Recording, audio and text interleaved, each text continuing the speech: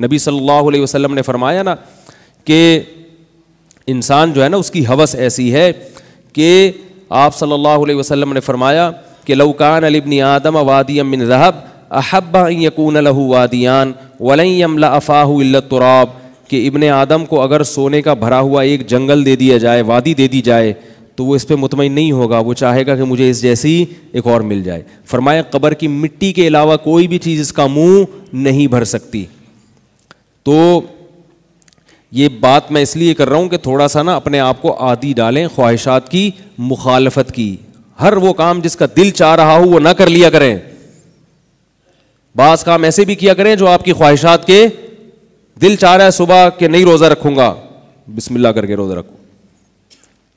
क्या ख्याल है? भाई, नहीं नहीं चाह रहा ऐसे रखेगा रोज़ा जाओ। नफ्स को बोलो अपने। लड़ो ना नफ्स से। आज दिल नहीं चाह रहा आज तो रखेगा। जिस दिन दिल नहीं चाह रहा, उसी दिन क्या होगा?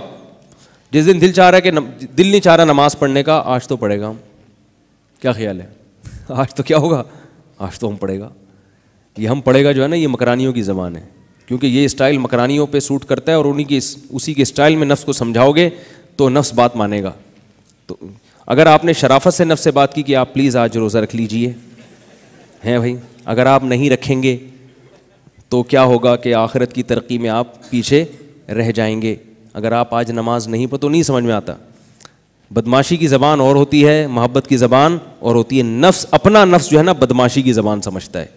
अपने आप को जब तक बदमाशी से बात नहीं करोगे, बात नहीं मानेगा। दूसरे से तमीज़ से बात करो।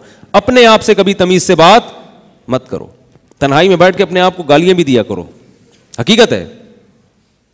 बोले, तू सारी ज़िंदगी तेरी गुजर गई, तूने तीर क्या मारा है अब तक? भाई हकीकत है हम में से हर शख्स अपना गरेबान झाँक के देखे। बोले भाई कोई बीस साल का हो गया कोई तीस साल का हो गया कोई पैंतीस साल का हो गया कोई चालीस साल का तूने ज़िंदगी में क्या तीर मारा है? दो चार नेकी के काम तो हर आदमी कर लेता है।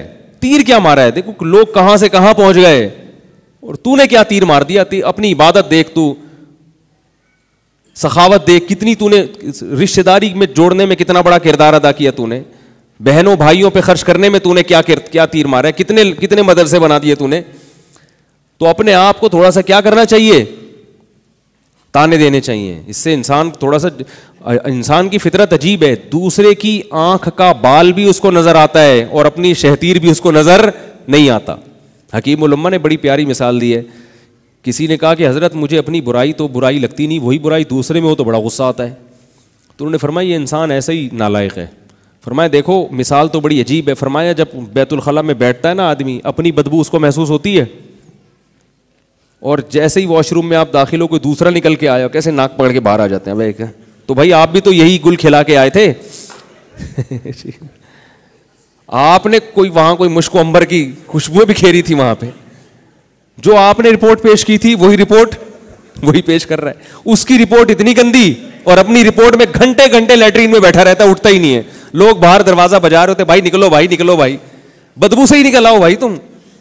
तो ये इससे क्या पता चलता है, इंसान को अपनी गंदगी बुरी नहीं लगती और दूसरे की थोड़ी सी गंदगी भी बहुत बुरी लगती है। यही हाल इंसान के अमाल का है। अपना झूठ, अपनी गीबत, अपनी सुस्ती, ये बुरी नहीं लगती। दूसरा जरा सा गलत काम करेगा तो एकदम तिल मिला जाएगा। हाँ एक दुनिया में क्या हो रहा है? लोग ऐसे हैं, लोग यूँ हैं। उलमा ने लिखा है कि जब तक इंसान दीन में मज़बूत ना हो जाए तो लोगों को बुरा भला कम अज कम ना कहे। जब दीन में मज़बूत हो गया, फिर वो तबसरा करे कि भाई मुआरा गलत तरफ़ जा रहा है। क्योंकि जब इंसान दीन में मज़बूत नहीं होता, अपने अंदर बहुत ज़्यादा बुराइयाँ हैं और वो ये कहना शुरू, यार, ज़माना ऐसा है, लोग ऐसे हैं। तो अपने आप से क्या हो जाता है? गाफिल। फिर अपनी असलाह से क्या हो जाता है? गाफिल।